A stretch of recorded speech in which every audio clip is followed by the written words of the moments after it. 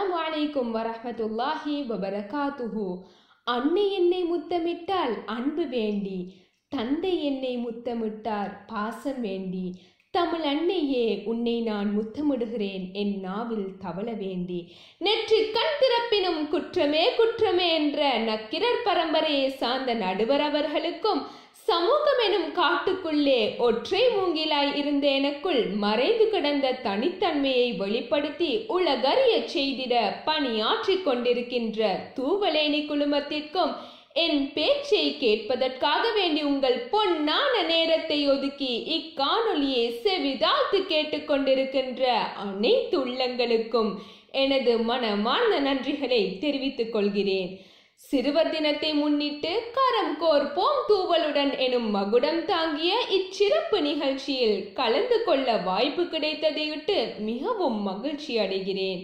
எல்லா புகழும் இறைவனுக்கே அல்ஹம்துலில்லா இன்று நான் உங்கள் முன்னிலையில் சிறுவர்களை பேணுவதன் முக்கியத்துவம் எனும் தலைப்பில் ஒரு சிறு உரையை தந்து உங்கள் அனைவரையும் சிந்திக்க வைத்துவிட்டு செல்லலாம் என வந்துள்ளேன். சிறுவர்கள் என்பவர்கள் எமது வீட்டில் வளரும் செல்வங்கள். அவர்கள்தான் நாட்டின் வளங்கள். ஏனெனில் இச்சிறுவர்களே எதிர்காலத்தில் நம் வீட்டுக்கும் நாட்டுக்கும் முக்கிய பிரஜையாக வர இருப்பவர்கள். அவர்களை பேணும் பொருட்டில் அவர்கள் ஒழுங்கான கல்வி ஒழுக்கம் சமயம் என்பவற்றின் பால் வழிநடத்தப்பட வேண்டியது எம் அனைவரினதும் கடமையாகின்றது. இது தொடர்பாக நாம் அலட்சியமாக இருந்தால் இவர்கள் மூலம் எதிர்பார்க்கும் இலக்கை எப்போதும் அடைய முடியாது. சிறுவர்கள் என்பவர்கள் எமது அன்பிற்குரியவர்கள் எமது அரவணைப்பில் வளர வேண்டியவர்கள். அவர்களின் சகல நடவடிக்கைகளுக்கும் பெரியவர்களே காரணமாகின்றனர்.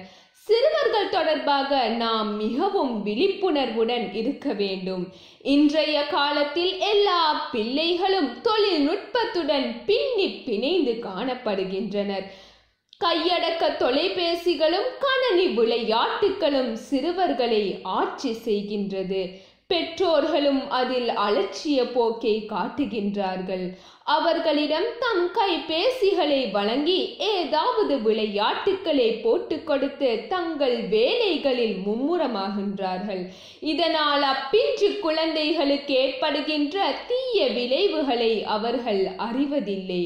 அன்பிற்குரியவர்களே முதல் விடயமாக பிள்ளைகளாகிய இவர்கள் ஒரே இடத்திலிருந்து விளையாடுவதால் அவர்களின் இயக்கம் தடைப்படுகிறது மகாகவி பாரதி கூட ஓடி விளையாடு பாப்பா நீ ஓய்ந்திருக்கலாகாது பாப்பா என்றுதான் கூறியிருக்கிறார். இயக்கம் இல்லாமல் இரத்தோட்டம் குறைந்து சிறுவர்கள் மந்த நிலையை அடைய பெற்றோரே காரணமாகின்றனர்.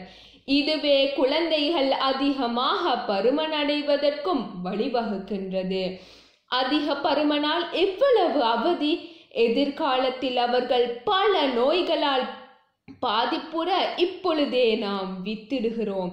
இது சரியா? சற்று சிந்திக்க வேண்டும். நம் குழந்தைகளை நாம் பேணாமல் வேறு யார் பேணுவது?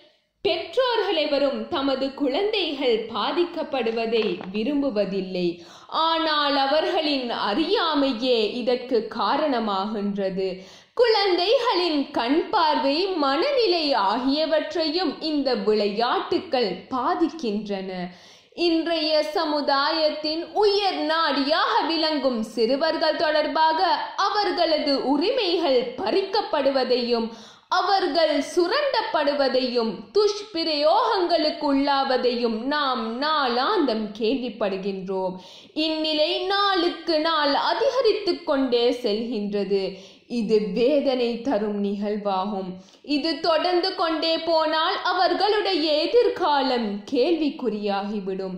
இதனை தடுத்து நிறுத்துவதற்கு தகுந்த நடவடிக்கை எடுக்க வேண்டியது சம்பந்தப்பட்டவர்களது தலையாய கடமையாகும். பெற்றோர்கள் ஆசிரியர்கள் பெரியோர்கள் இவர்களே சிறுவர்களை வழிநடத்துபவர்கள். இவர்கள் மிகவும் அக்கறையுடன் வழிநடத்த வேண்டும். பிள்ளைகளுக்கு நல்ல எண்ணங்களையும் நல்ல பழக்க வழக்கங்களையும் பழக்க வேண்டும். தீய பழக்கங்களால் ஏற்படும் பிரச்சினைகளை சிறுவர்கள் புரிந்து கொள்ளும்படி வலியுறுத்த வேண்டும். சின்ன சின்ன பிழைகளையும் அவர்களது வாழ்விலிருந்து தீர்க்க வேண்டும். எனவே சகோதர சகோதரிகளே இந்த காலத்தில் சிறுவர்கள் எதிர்நோக்கும் பெரிய பிரச்சினைதான் சிறுவர் துஷ்பிரயோகங்கள். குழந்தை செல்வங்களை அதிலிருந்து பாதுகாக்க நாம் பெரிய முயற்சிகள் எடுக்க வேண்டியது கட்டாயமாகும்.